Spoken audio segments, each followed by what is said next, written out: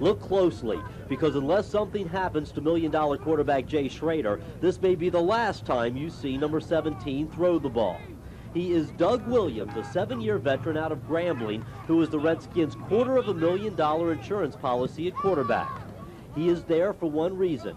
If anything happens to Schroeder, Williams will be expected to take the Redskins to the Super Bowl. I think it's just like coming in in the middle of a, a book or something, you know, you can't pick it all up.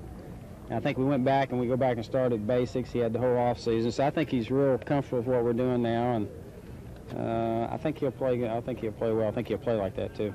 A first-round draft pick by Tampa Bay in 1978, Williams took the then hapless Bucks to the playoffs three of the next five seasons. Big money lured him to the U.S. Football League, and when that folded, big money from the Redskins brought him to Washington. Making a quarter of a million dollars a year, Williams realizes his role. If something should happen to Jay, you know he had a knee injury early in the year last year. He had his knee scoped, and I think that's one of the reasons why I'm still here more than anything is because of the fact they really don't know what's going to happen. And Jay was fortunate enough and mobile enough and stayed healthy all year. But Doug still wants to start, and he hears about trades like the one last month sending him to the L.A. Raiders.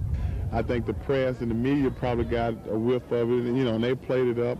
And there's no doubt they did make an offer of something like a fourth round pick, but the Redskins wasn't willing to part with just a fourth round pick. But for now, Doug Williams will do what he does best be the best darn insurance policy in the NFL.